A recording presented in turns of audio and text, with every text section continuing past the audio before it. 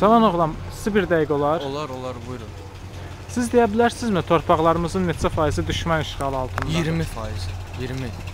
Yəni çox gözəl. Yəni hiss olunur ki, vətən tarixini siz çox həvəslə öyrənmisiniz. Bəli, əlbəttə bu bizim gələcəyimizdir, keçmişimizdir. Əlaçı, əlaçı. Və siz deyə bilərsinizmi ki, bizim torpaqlarımız artıq neçə ildir ki, düşmən tərəfindən işğal olunmuşdur? Məs 20 il keçir. Yəni bu hadisənin üstünə 20 il keçir.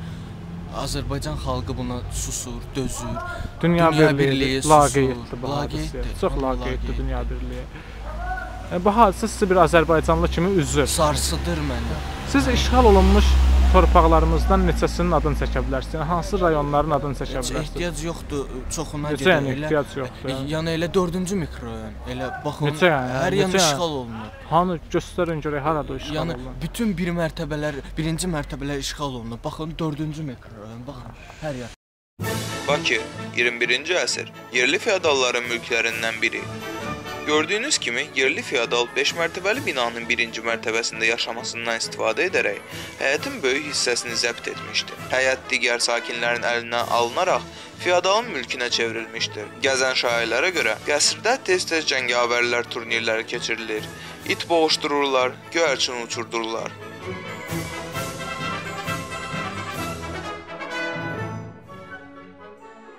Burada isə başqa feodalın qəsri yerləşir.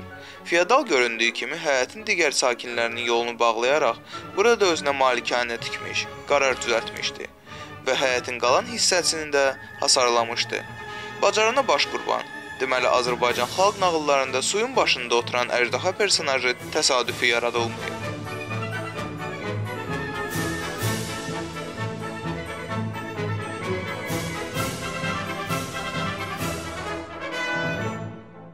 Daha kiçik feodallar öz malikələrini kustar üsullarla mühafizə edir.